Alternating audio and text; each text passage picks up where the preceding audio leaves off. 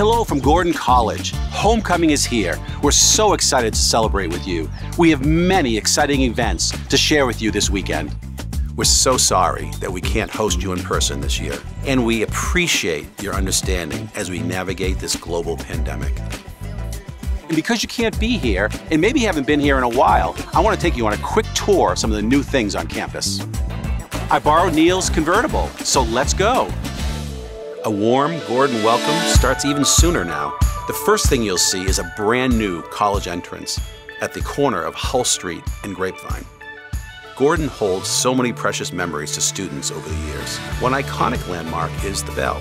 Many of you remember the bell ringing in the gazebo whenever students would get engaged. And what you may not know is originally the bell stood atop the Clarendon Street Baptist Church in Boston, where our founder, A.J. Gordon, was minister.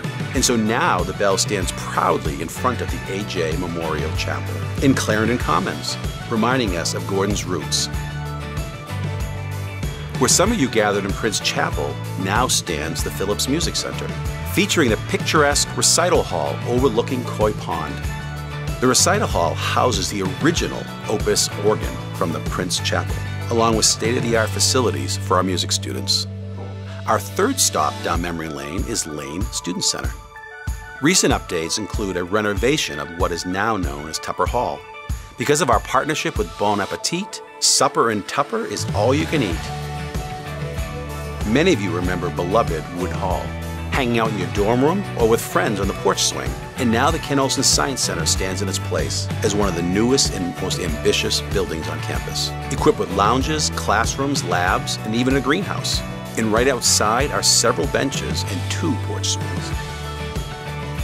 And our next stop is Chase Hall, and for some of you, remember it as Shepherd Hall. And even though Chase is twice as large, it uses the same amount of energy. And Gordon continues to lead the way in being green. Our Fighting Scots got a fresh update of the beautiful Brigham Athletic Complex, featuring a state of the art turf field and track, home to lacrosse, soccer, field hockey, and track.